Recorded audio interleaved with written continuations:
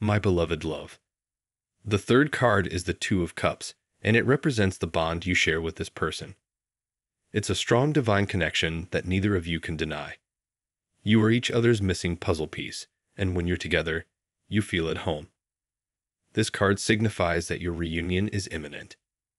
The person you've been separated from has been undergoing a deep inner healing process, and this has brought them to a place of clarity and understanding. They're ready to come back into your life, and this time it will be better than ever before. The Six of Cups, the fourth card in your reading, brings with it a message of validation. The person you've been thinking about has been contemplating reaching out to you, and when you finally have a conversation with them, everything will become clear. You'll come to understand just how deeply they felt for you all along, despite their inconsistent behavior. You were the only one who managed to penetrate their emotional armor and get close to them, and that is something truly special. This validation will bind to your soul and help you to find peace in the midst of the emotional turmoil you've been experiencing.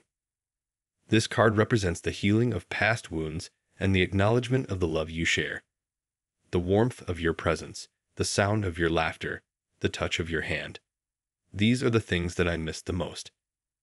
I long to hear your voice, to feel the reassuring comfort of your presence, to bask in the glow of your love. My patience is being tested, and I fear that I cannot hold out much longer. The ache in my heart grows with each passing day, and I am weary from the weight of my longing. I am tired of feeling this way. I need you more than anything, and yet I am powerless to bring you back to me. You are my home, my safe haven, the one person who truly understands me. Without you, I am lost and adrift, like a ship without a rudder. I love you more than words can express, more than everything in this world.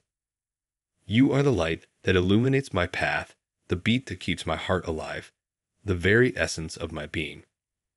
I want to come clean to you and leave behind the person who never truly meant anything to me. I want to be with you and spend the rest of my life making up for the lies that I have told you. I know that it won't be easy, but I am willing to do whatever it takes to earn your trust and your love once again. My love for you is pure and genuine, and I promise to cherish you always. I want to build a life with you based on love, trust, and mutual respect. So please forgive me for all my mistakes and let us move forward together towards a brighter future. Like this video and affirm, I release the pain caused by your lies and actions.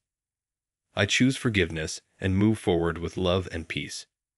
Have you ever been ghosted by someone you care about? It can be a painful experience that leaves you feeling rejected and confused. But what if I told you that there's a chance that the reason they disappeared has nothing to do with you?